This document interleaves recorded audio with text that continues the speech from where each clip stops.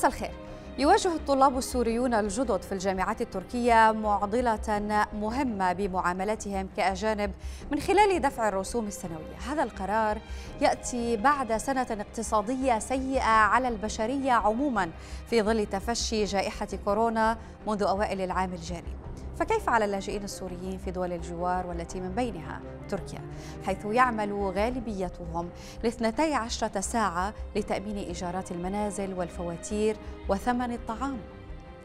حاليا الطلاب الجدد سيتوجب عليهم دفع آلاف الليرات فكلية الطب في تركيا مثلا على سبيل المثال تكلفتها في السنة الواحدة ثلاثين ألف ليرة تركية بحسب قرار مجلس التعليم العالي الذي ترك تقدير المبالغ للجامعات حسب كل حالة. كل ذلك يدفعنا للتساؤل ما حيثيات هذا القرار التركي الجديد بخصوص تعليم الطلاب السوريين؟ وما دلالات إصدار تركيا مثل هذه القرارات في المرحلة الراهنة؟ وهل قامت المنظمات السورية المدنية في تركيا بأي خطوة لإيقاف مثل هكذا قرار؟ أم أنها كباقي من يدعون تمثيل السوريين لا نراهم إلا في البيانات والندوات؟ وكيف يمكن للطلاب السوريين تخفيف الرسوم المفروضة عليهم كل حسب إدارة جامعته؟ هذا ما سنناقش في هذه الحلقة من هنا سوريا. أهلا بكم.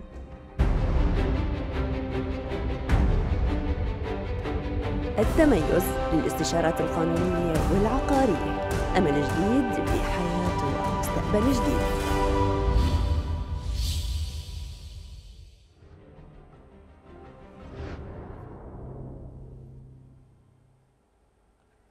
أهلا بكم مجددا صدر قرار بمعاملة الطلاب السوريين الجدد في الجامعات التركية كأجانب من ناحية دفع الرسوم السنوية.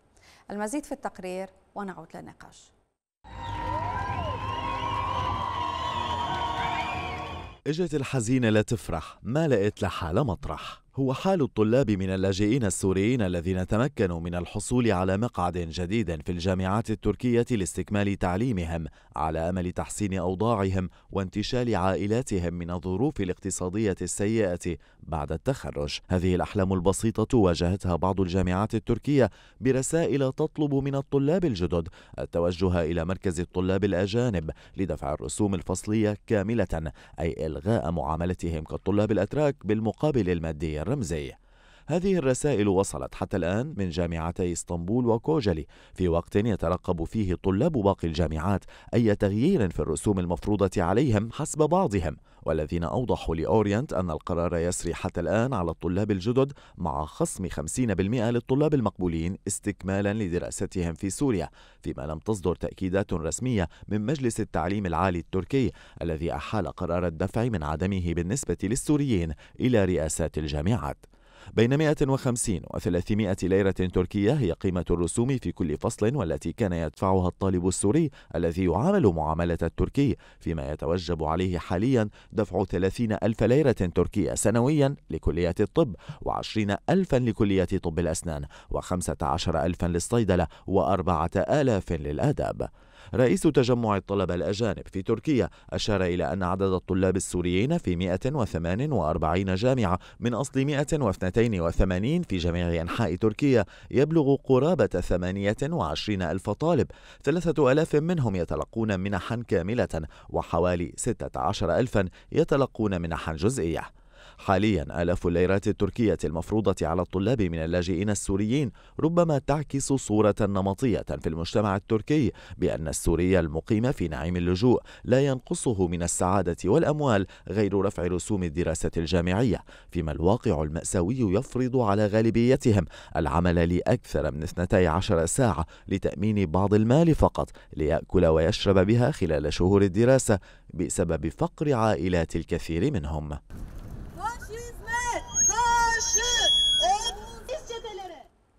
وللحديث أكثر عن هذا القرار التركي ينضم إلينا الدكتور وسام الدين العقلي أستاذ في جامعة ماردين. كما ينضم إلينا أيضا أمجد الساري عضو الهيئة التأسيسية لاتحاد الطلبة السوريين الأحرار معنا من إسطنبول وأيضا معنا الخبير في شؤون التعليم جهاد العويد معنا من إسطنبول. مساء الخير وأهلا بكم جميعا. أستاذ جهاد دعني أبدأ معك. كيف تنظر إلى هذا القرار؟ وكيف ستبدو انعكاساته على الطلاب خصوصا هذا العام؟ آه، مساء الخير لك آه، ست أحلام. مساء الخير لضيوفك الكرام. أهلا فيك. طبعا هو نحن متعودين كل سنة نعيش هي الحالة خاصة مع جامعة اسطنبول بصراحة يعني. في عندنا قرارات مختلفة تصدر بحق الطلاب السوريين ولكن هو بالمقابل من حق الجامعة لأنه الجامعة هي مخيرة في قراراتها بمعزل عن وزارة التعليم العالي. يعني إذا وزارة التعليم العالي التركي تصدر قرار فبالتالي الجامعة هي مخيرة في تطبيق هذا القرار أو عدم تطبيقه بما يخص الطلاب السوريين. ببساطة آه، يعني نحن اللي بنعرفه آه، الطلاب السوريين في الجامعات التركية الحكومية ما بيدفعوا رسوم نهائيا أو رسوم بسيطة توازي الطلاب الأتراك. هذا الأمر منذ أكثر من سنة يعني تقريبا منذ 2013 وما بعد. آه، فجأة صدر قرار من جامعة إسطنبول على الطلاب السوريين دفع أجور آه، للعام الدراسي من هذه السنة. آه، طبعا آه، هذا الأجور لا تخص الطلاب السوريين فقط، هي أجور للطلاب الأجانب عموما، فأصبح السوري مثله مثل أي طالب أجنبي، طبعا هو بصراحة أنا لي وجهة نظر مختلفة. يعني هو القرار أخذ صدى كبير وخوف كثير من الطلاب، أنا من وجهة نظري القرار ليس بكبير جدا هو عادي لأنه يشمل آه، فئة قليلة من الطلاب السوريين بالذات هو خاص الطلاب المستجدين. يعني نحن تواصلنا مع الطلاب القدامى اللي هن موجودين بجامعة اسطنبول ما في أي حدا إجا رسالة بدفع رسوم يعني بقي على الرسوم السابقة. الطلاب نعم. المستجدين يلي السنة دخلوا على الجامعات مو الجامعة التركية جامعة اسطنبول بالذات آه، آه، انفرض عليه هذا الرسوم. ولكن المشكلة وين؟ لهذا القرار إنه هذا الطالب السوري ما كان عنده خبر.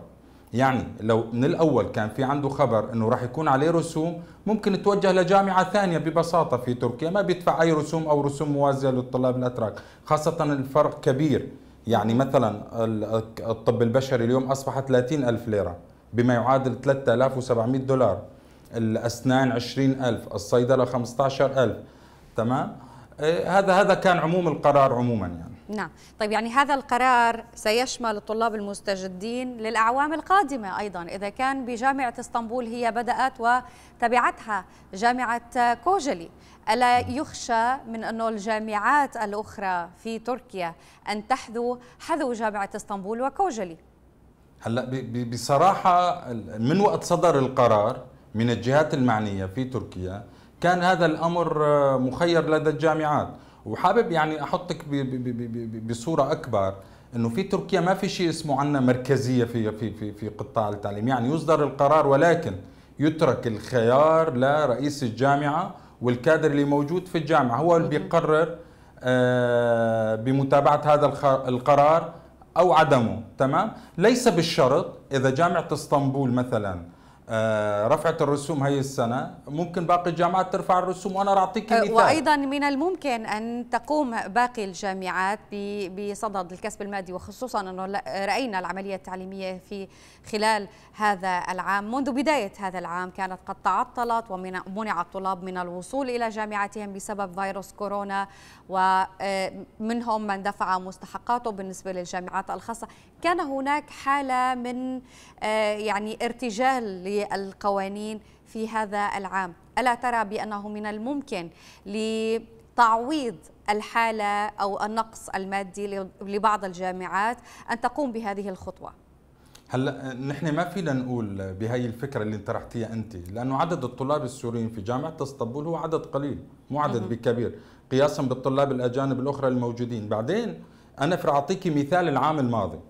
العام الماضي أصدرت جامعة إسطنبول قرار بفصل الطلاب اللي عملوا قيد اللي كانت شهاداتهم في سوريا بعد 2013 تمام؟ وطلعوا الطلاب وحدثت مشكلة وحكينا على التلفزيونات وما وشرحنا الوضع في الكامل.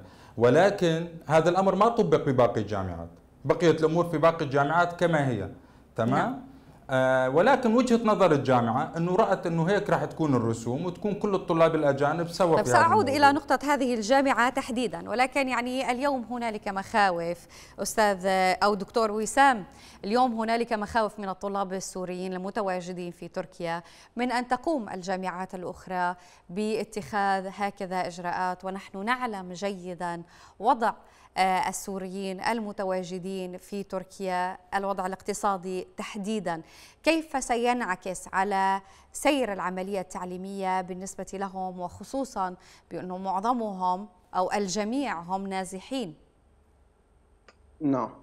آه، بداية تحية لك ولجميع آه، ضيوفك الكرام وأيضا للسيدات والسادة المشاهدين. أهلا فيك. الحقيقة ما صدر مؤخرا آه، عن آه، رئاسة الجمهورية التركية صدر قرار ب 11 7 2020 يستثني الطلاب السوريين قرار صدر برئاسة الجمهورية التركية. وهذا القرار منشور في الجريدة الرسمية وممكن للجميع الاطلاع عليه. رقم القرار 2755 تاريخ 11 7 2020 هذا القرار في المادة الثالثة منه الفقرة 2 و3 و4 استثنى الطلاب السوريين الموجودين على الأراضي التركية نتيجة الظروف والأحداث الموجودة في سوريا كما ورد في هذا القرار من آه، الرسوم المفروضة على الطلاب الأجانب في الجامعات التركية. لكن كما أشار آه، صديقي الأستاذ جهاد أنه الجامعات التركية هون بشكل عام لديها سلطة تقديرية وبالتالي أي جامعة لديها هذه السلطة لوضع الرسوم بما يتناسب مع آه، الوضع الداخلي في هذه الجامعة أو مواردها آه، الداخلية أو مواردها من خلال الطلاب الأجانب آه، أنا أقول ما ما حصل في جامعة إسطنبول هو خاص في جامعة إسطنبول نعم. القرار القرار الذي صدر وهذا القرار يصدر من عام 2013 من العام الدراسي 2013 2014 يعفي الطلاب السوريين من دفع فقط ما يسمى بمساهمة الطلاب في تكلفة العملية التعليمية الجارية. نعم. شو المقصود بمساهمة الطلاب بالعملية الجارية؟ هاي يدفع حتى الطالب التركي. يعني على سبيل المثال في عندي شيء اسمه متوسط آه، التكلفة. متوسط التكلفة على سبيل المثال في كلية الطب حوالي 17 ألف ليرة تركية.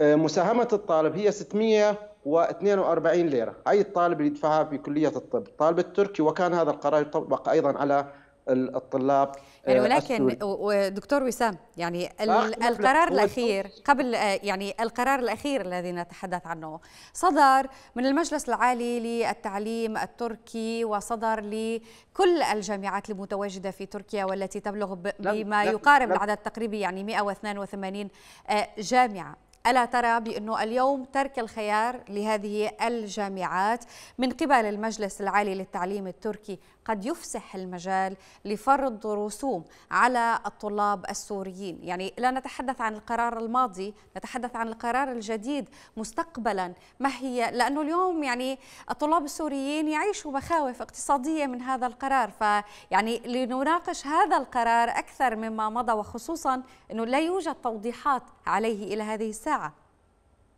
يا سيدة لم يصدر قرار. هو هذا هذا الشيء هو خاص بناء على مراسلات بين جامعة اسطنبول ومجلس التعليم العالي أو اليوك. واليوك اجابون إنه هذا الأمر متاح آه، يعود لسلطة السلطة التقديرية لجامعة اسطنبول. هناك بالعكس تماما هناك جامعات مثل جامعة أنقرة بناء على القرار الرئاسي الذي صدر في شهر تموز الماضي كان طلاب لديهم آه، ديون آه، أو أقساط جامعية ذهبوا وراجعوا الجامعة وتم تصفير هذه الديون بشكل كامل، اليوم هناك جامعات أخرى، جامعة دجلة في ديار بكر، الطلاب السوريين الذين سجلوا في هذه السنة هم معفون بشكل كامل من الرسوم بشكل كامل ما يدفع ولا ولا أي ليرة تركية. هذا ال ال القرار العام يعني. اليوم أنا في عندي قرار من رئاسة الجمهورية وهذا القرار منشور في الجريدة الرسمية ويجب على الجامعات المبدئية أن تتقيد بهذا القرار لكن بشكل عام في تركيا الجامعات لديها سلطة تقديرية في في تقدير تقدير ظروفها في تقدير الظروف الداخلية الخاصة فيها أيضا التكلفة والرسوم نعم. آه بالنسبة لتداعيات هذا القرار ممكن يمتد إلى جامعات أخرى على على الأغلب يعني ممكن يمتد يعني لكن بشكل بشكل عام آه، هناك الكثير من الجامعات لا تزال حتى الآن تطبق هذا القرار الخاص بإعفاء السوريين أو استثناء من فقط يدفع هو يعني مدى أو مساهمة الطالب في العملية التعليمية الجارية اللي هو حوالي تقريبا رسوم بسيطة جدا يعني تتراوح ما بين 250 ليرة إلى 600 إلى 650 ليرة تقريبا. هذا هو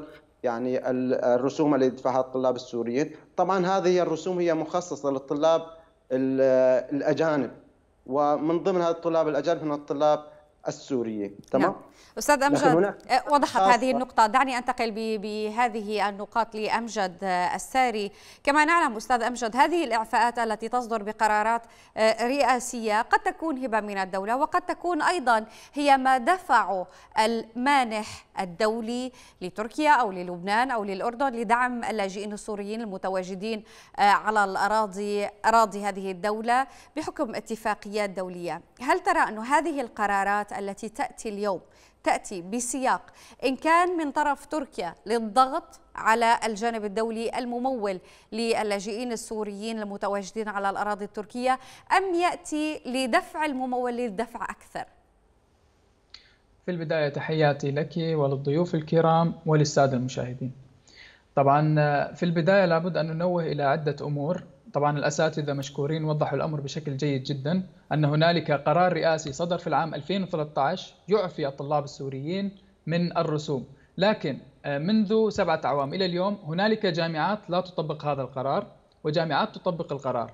يعني الأمر متروك للجامعة نفسها وليس للقرار الرئاسي. يعني هنالك الكثير من الجامعات وفي الأعوام السابقة آه، هناك جامعات تأخذ من الطلاب السوريين وبالتالي هذا الأمر ليس جديد للتنويه. لكن جامعة اسطنبول لها رمزية خاصة وأنا لا أتفق مع الأستاذ جهاد عندما قال أن المشكلة هي مشكلة ليست كبيرة جدا. على العكس هذه مشكلة كارثية نوعا ما على الطلاب خاصة المستجدين الذين وهو يعلم جيدا أن الطلاب يدرسون مناهج امتحان القبول الجامعي اليوز والسات وعدة مناهج أخرى حتى يتمكنوا من الدخول إلى جامعة اسطنبول. هم يبذلون جهد كامل يوميا ست إلى سبع ساعات دراسية لمدة عام كامل من أجل فقط الحصول على المقعد الجامعي في جامعة إسطنبول. هذه نقطة النقطة الأخرى جامعة إسطنبول آه، من حيث عدد الطلاب ليست قليلة كما ذكر الأستاذ جهاد. بالعكس يعني جامعة إسطنبول هي الرابعة كترتيب من حيث عدد الطلاب السوريين بعد جامعة غازي عنتاب وحران وكربوك. وبالتالي آه، هذا الأمر سيكون كارثة على الطلاب المسجلين والذين سيأتون فيما بعد. من ناحية نقطة لماذا تم آه، أخذ آه، أو آه، يعني تم إلغاء قرار الإعفاء أو لم يلغى. الجامعة أرسلت رسائل نصية للطلاب من أجل تحصيل الأقساط لكن بحسب قانون الإعفاء الذي صدر في العام 2013 فإن اليتبه التي تعتبر رئاسة أتراك المهجر والمجتمعات ذوي القربى هي من كانت تتكفل بدفع الأقساط. وبالتالي الجامعة الجامعة جامعة إسطنبول كانت تأخذ الأقساط لكن ليس من الطلاب إنما من اليتب لا ندري ما هي الاتفاقيات التي أجريت بين اليتب أو الاتحاد الأوروبي. هذه معلومات يعني لا نعلمها صراحة. هذه عند اليتب أما الجامعات هي فعليا تأخذ من يعني هذا ما أقصده. هو هذا الإعفاء هو إعفاء ليس مجاني كما يعلم الجميع. هذا الإعفاء يأتي بسياق اتفاقيات آه، آه، ثنائية بين المانح والجامعة أو بين الجهات المعنية بهذه القضية هل ترى اليوم أنه هذا النوع من القرارات من قبل جامعة إسطنبول تأتي مسيسة بطريقة ما؟ حقيقة لا نعلم هذا الأمر لأن ليس فقط كما ذكرت ليس فقط جامعة إسطنبول هي من تقوم بأخذ الأقساط وليس الأمر جديد حتى نقول أن هنالك سياسة معينة بناء على آه، تطورات الأحداث وما إلى ذلك جامعة اسطنبول آه، لها رمزية خاصة ربما بسبب الزيادة أعداد الطلاب السوريين لا نعلم ربما أسباب أخرى. مع العلم أن الدخول إلى اسطنبول صعب جدا يعني ذكرت هذا الأمر بسبب وجود امتحان القبول الجامعي. آه، لكن الموضح والذي نعرفه والمكتوب بشكل رسمي في قرار الإعفاء هو أن اليتب هي من تتكفل بالطلاب السوريين وهذا منذ العام 2013 وإلى اليوم ما تزال تجري آه، حد إلى حد هذا القرار الذي ينص على أنه الطلاب لازم يدفعوا وهو قرار صراحة جدا صادم للكثير وللآلاف من الطلاب السوريين. وأنا اليوم أتواصل مع قسم كبير من هؤلاء الطلاب. وبالمناسبة يعني فريق جامعة إسطنبول يعني آه، الفريق المنضوي تحت اتحاد طلبه السوريين الأحرار قام بالتواصل مع الجامعة من أجل توضيح هذا الأمر، التوضيح الذي اتى هو أن الطلاب القدامى لن يدفعوا فقط طلاب المستجدين آه، مما دفع الطلاب اليوم هذا الفريق يقوم بجمع توقيع من طلاب طلاب جامعة إسطنبول من أجل آه، يعني تقديمه للجامعة كون القرار هو قرار من ضمن الجامعة ورئاسة مجلس التعليم العالي هي تركت الخيار للجامعة وصراحه هو القرار الأول والأخير للجامعة وليس لمجلس التعليم العالي. مع يعني مع العلم أن القرار موجود قرار الرئاسة. مع ذلك الجامعات لا تطبقه صراحة. نعم. بذات الوقت وللتنويه هنالك جامعات ما زالت تعفي الطلاب السوريين مثل جامعة عنتاب وبعض الجامعات الأخرى وهنالك جامعات استجابت لمطالب الطلاب بعد تقديمهم عريضة للجامعة بأن الوضع لا يسمح لهم بدفع مبالغ كبيرة، قامت بتخفيض المبالغ بما يتناسب مع قدرة الطلاب السوريين. وهذا ما نرجوه صراحة من جامعة اسطنبول. يعني اليوم اللاجئ السوري هذا طالب يعني حتى إن عمل لمدة 14 ساعة في اليوم أنا متأكد أنه لن يستطيع تأمين قسط آه، كلية الطب وبالتالي جامعة اسطنبول ستفقد عدد كبير من الطلاب السوريين وسينخفض العدد طب بالحديث أكثر عن جامعة اسطنبول أستاذ جهاد أنت رأيت أنه جامعة اسطنبول هي التي آه، تفردت بقرار سابق مشابه مثير للجدل واليوم هذا القرار. برأيك لماذا تقوم آه، إدارة الجامعة باتخاذ هكذا قرارات تعتبر إشكالية وخاصة في اسطنبول؟ هلا هي بصراحة أنا بس حابب أعقب شوي. أنا وقت حكيت وقلت هي ما هي مشكلة. طبيعي هي ما هي مشكلة كبيرة. نحن ما بنجيش هي المشكلة وبنأثر على طلابنا الباقين في باقي الجامعات اللي عنده دراسة هو مهتم فيها. هذا الأمر يهم الشريحة من الطلاب المستجدين فقط من السوريين. أنا عندما أقول جامعة إسطنبول هي الرابعة باستقطاب الطلاب الأجانب نعم نعني فيها الطلاب القدامى اللي هن ما عم يدفعوا رسوم. أما هي الشريحة من الطلاب السوريين هي مشكلة. ولكن ليست بمشكلة كبيرة. هذه المشكلة تعالج. هناك قنوات رسمية الطلاب تتواصل مع الجامعات مثل ما حكى صديقنا ما في أي طيب إشكال في وضحت هذا وضحت حضرتك هذه النقطة وأيضا يعني دكتور وسام آه، تحدث بذات السياق إنه اليوم الطالب القديم لا يجب عليه أن يخاف من هذه القرارات. آه، من يشمل أو القرار يشمل الطلاب المستجدين في جامعة إسطنبول تحديدا وجامعة كولجي آه، أو كوجلي. آه، آه، أيضا. لم يتم اتخاذ قرارات من قبل الجامعات الأخرى. ولكن كما ذكرت حضرتك في بداية حديثك أنه سابقا جامعة إسطنبول اتخذت قرار مشابه. واليوم هذا القرار المثير للجدل. لماذا برأيك؟ هل ترغب يعني جامعة إسطنبول ب تخفيض عدد الطلاب السوريين هل ترغب باختيار يعني من يمتلك المال ليدرس في جامعة اسطنبول ومن هو آه، من الطبقة المتوسطة ليتجه إلى مدن وجامعات أخرى؟ هلا بصراحة آه، جامعة اسطنبول هي لها لها خصوصية معينة، يعني جامعة اسطنبول من من تحتل من المراتب الأولى في تركيا على صعيد الجامعات الخاصة والحكومية، جامعة اسطنبول من الجامعات لها ترتيب عالمي يعني يقارب ال 500 أو 600 على مستوى العالم، فدوما لها خصوصية معينة في تركيا، طبعا هي السياسة هي ناتجة عن سياسة الإدارة اللي موجودة في في في, في الجامعة، خلينا نقول سياسة إدارية هي منطلقة من الجامعة. ولكن نحن ما فينا نأكد إذا كانت آه، مبطنة بأهداف معينة. هذا الأمر يخص الجامعة بشكل عام. ولكن دوما في المسيرة التعليمية الطلاب يواجهوا مصاعب أو يكون عندنا مشاكل ما بين الطلاب والإدارة بشكل عام. ياما في كثير من الجامعات صدرت قرارات والطلاب احتجوا على هذا الموضوع ضمن القنوات الرسمية. تمام والجامعة تراجعت عن هذا.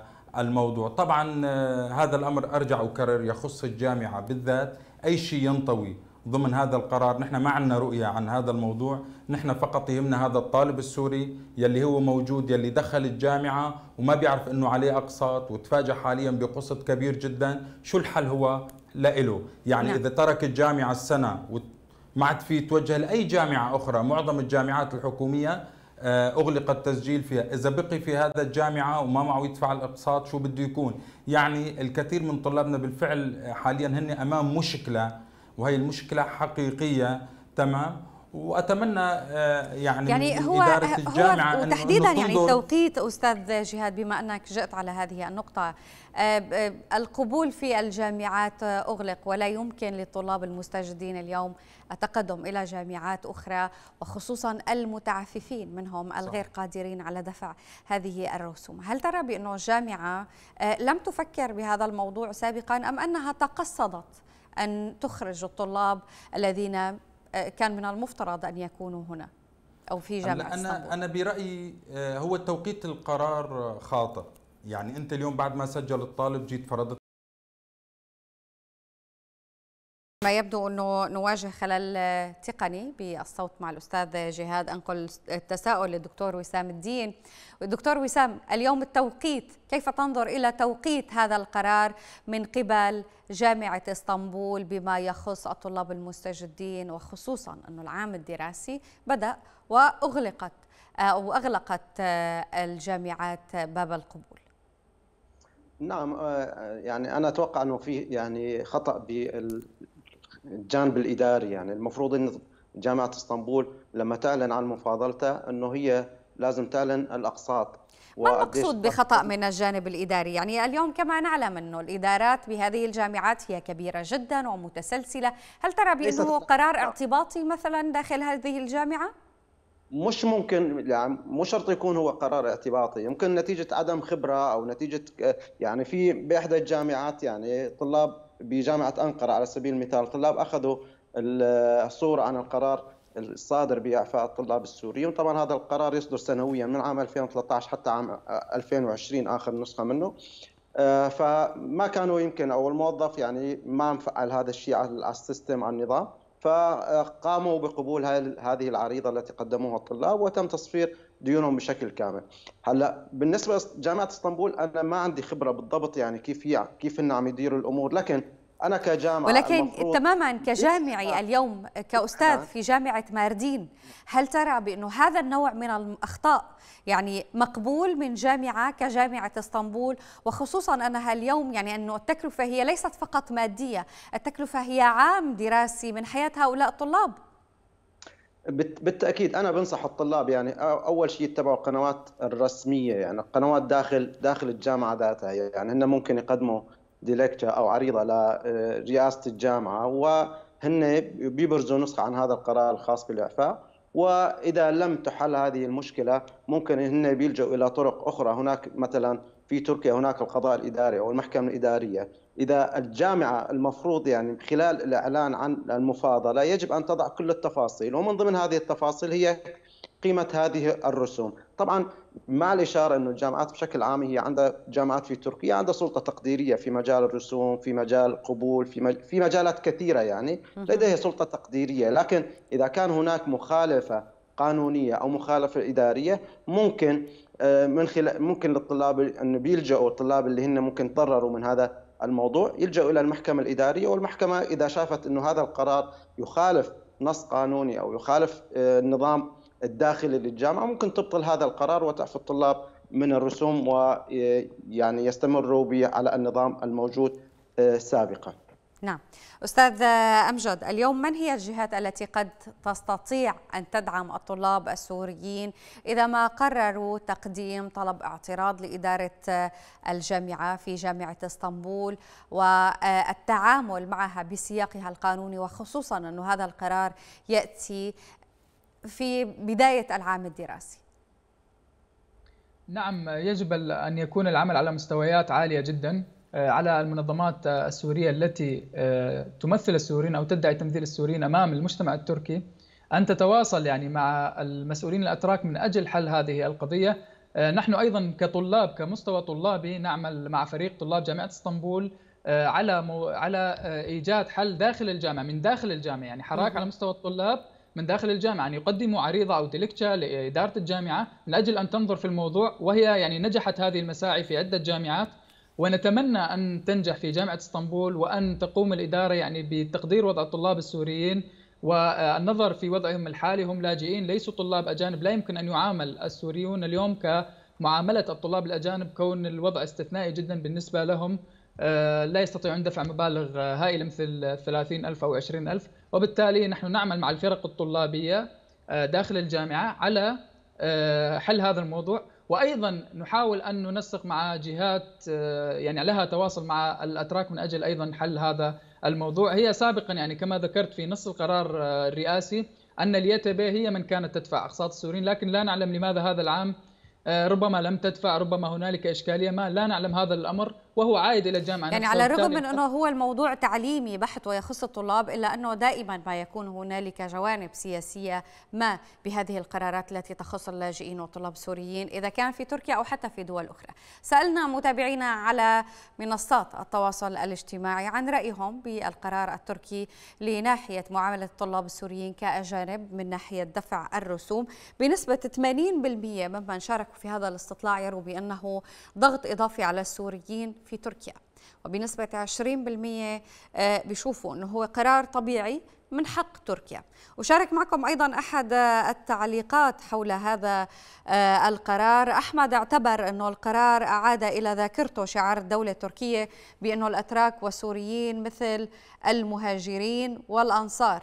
معتبرا أن ذلك متاجرة باسم الدين. أستاذ جهاد 80% ممن شاركوا بالاستطلاع يعتبروا بأنه اليوم هذا القرار من جامعة إسطنبول ونتمنى أن لا تقوم يعني جامعات أخرى باتخاذ هذه الخطوات آه، آه، يعني مثل ما أخذت جامعة إسطنبول بأنها ضغط إضافي على السوريين في تركيا.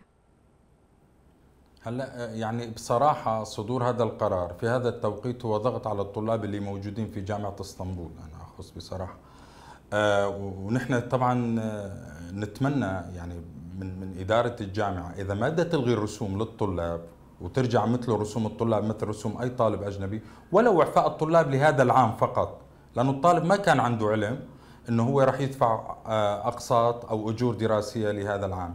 بالتالي هي بالفعل مشكلة خلينا نقول مشكلة جزئية بالنسبة للطلاب السوريين. وأخص فيهم الطلاب اللي هن موجودين في جامعة إسطنبول. تمام؟ طبعا أمل وأنا وكل آه، زملائنا الطلاب وأصدقائنا إنه الجامعة تتراجع عن هذا القرار ولو لهذا العام. ولو نعم. لهذا العام كعلاج أولي إلى أن ينظر في القرار للعام القادم. أتمنى من كل طلابنا أيضا هن مثل ما حكوا آه، زملائي الموجودين حاليا أو أصدقائنا يتوجهوا بعريضة لإدارة الجامعة وإن شاء الله ينظر بهذا الموضوع. نعم. أستاذ الدكتور وسام. هل ترى بأنه اليوم يعني بعد بداية الفصل الدراسي مع هذا القرار من جامعة إسطنبول يحق للطلاب أن يقوموا بنقل تسجيلهم وأوراقهم إلى جامعة أخرى تتناسب مع ما يستطيعوا أن يقوموا بدفعه؟ آه، بالنسبة لموضوع النقل يعني يعني أول شيء نحن قبل موضوع النقل يعني بالنسبة للجامعات التركية حقيقة يعني الجامعات التركية اللي قدمته للطلاب السوريين يعني هذا أمر يعني لا يمكن آه، إنكاره من قبل أي أحد يعني عدد الطلاب السوريين الموجودين اليوم في تركيا 30 ألف عدا عن الطلاب الذين تخرجوا خلال السنوات الماضية وكان نعم. أغلب الجامعات يعني ولنكن منصفين يعني كما قدمت تركيا نتاج هؤلاء الطلاب يعني ترى تركيا على الأرض الكثير من المتفوقين والعاملين في في مشافيها وفي صيدلياتها وما إلى ذلك. يعني هي قدمت ولكن هي آه، آه، يعني آه، قطفت ثمار هذا التقديم أيضا من قبل الطلاب السوريين المتواجدين في تركيا. بالنسبة لموضوع النقل دكتور وسام الدين هل من الممكن نقل الملف الدراسي من جامعة إسطنبول إلى جامعات أخرى؟ بالنسبة للنقل يعني آه، موجود بالنسبة للنقل بين الجامعات التركية أو داخل حتى هذه الجامعات. آه، النقل يعني في له مواعيد محددة يعني نقل من الجامعات خارج البلد يعني إذا أنت مثلا حدا بيدرس مثلا بجامعة دمشق وبده ينقل إلى لا لا نتحدث عن هذه الحالة تحديدا. اليوم من النقل من جامعة إسطنبول بعد هذا القرار الطلاب المستجدين لا يستطيعوا دفع الرسوم المفروضة. هل يمكن الآن بهذا التوقيت نقل ملفاتهم الدراسية إلى جامعة ماردين مثلا؟ لا لا ما آه، بالنسبة للنقل بين الجامعات له له توقيتات محددة يعني وغالبا يكون في الصيف يعني. اليوم الطالب اللي واجهته هاي المشكلة المفروض هو يكمل هاي السنة على الأقل وفي الصيف يفتحوا آه، يسموه الانتقال الأفقي بين الجامعات. هاي مفاضلة خاصة يعني. أنا بدي أنتقل من جامعة إسطنبول إلى جامعة أخرى لكن أيضا آه، يعني عملية نقل مش بهذه السهولة يعني نعم. لأنه الجامعات في لها شروط في لها يعني معايير للترجيح أو معايير لاختيار الطلاب لأنه نعم في طلاب وضحت النقطة. آه، بتعليق آه، أخير آه، أمجد اليوم يعني الطالب الذي يقع في هذه المعضلة بالقرار الذي اتخذته جامعة إسطنبول ما هي الخيارات المتاحة أمامه؟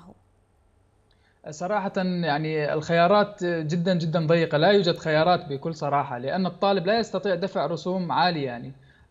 نسبة الطلاب الذين يستطيعون الدفع هي نسبة ضئيلة جدا مقارنة بحجم الطلاب الموجودين الآن بجامعة اسطنبول. وبالتالي الحل هو أن تقوم الجامعة بإعفاء الطلاب السوريين هذا العام وكما تفضل الأستاذ آه، أن تنظر بالأمر في الأعوام القادمة تقديريا وأن تعاملهم يعني معاملة الأتراك بأجور رمزية كما كانت تعاملهم سابقا.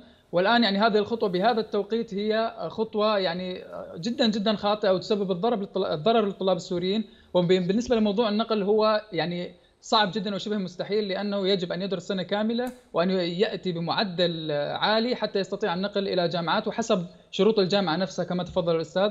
وبالتالي نتمنى أن تحل هذه المشكلة وأن يدرسوا الطلاب هذا العام وأن يعني تقدر نعم. الجامعة. وضع الطلاب السوريين وضحت كلاجئ. الصورة أمجد. نتمنى التوفيق طبعا لجميع الطلاب. شكرا جزيلا لك أمجد الساري عضو الهيئة التأسيسية لاتحاد لاتحاد الطلبة السوريين الأحرار.